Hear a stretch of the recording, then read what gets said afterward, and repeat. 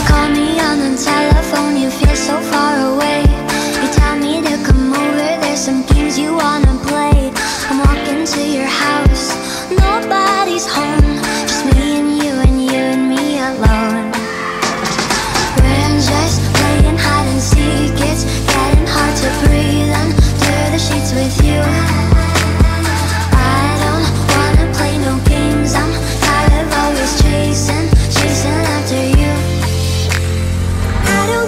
Fuck about you anyways.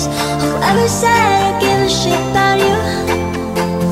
You never share your toys or communicate. I guess I'm just a play date to you.